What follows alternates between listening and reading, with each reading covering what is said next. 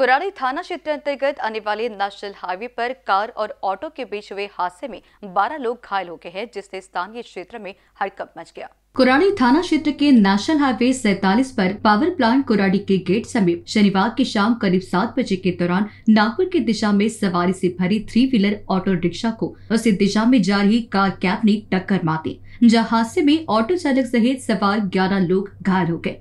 घायलों में से छह मरीजों को प्राथमिक उपचार देने के बाद छुट्टी दे दी गई तो वही दो मरीजों को गंभीर चोट आने से नागपुर के मेडिकल में रेफर किया गया। वही दो मरीज़ अस्पताल में भर्ती है। कैब ड्राइवर को पुलिस में अस्पताल में इलाज एवं नशे की जाँच कराने लेकर गई। जाँच के बाद ड्राइवर पर गुना दर्ज करने की जानकारी कोराड़ी पुलिस ने दी है। जानकारी के अनुसार ऑटो क्रमांक एम एच इकतीस, ईपी एक छह शून्य नौ में पाँच महिला, पाँच बच्चे और ऑटो ड्राइवर समेत कुल ग्यारह लोग सवार थे।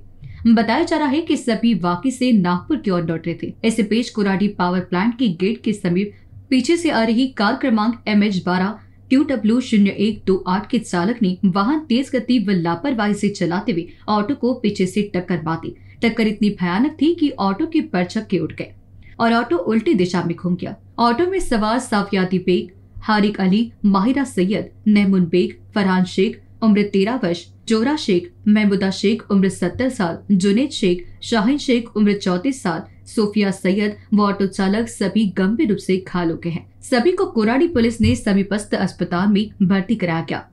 कैमरा पर्सन राजकुमार मोहट के साथ मनीष टेमरी की रिपोर्ट।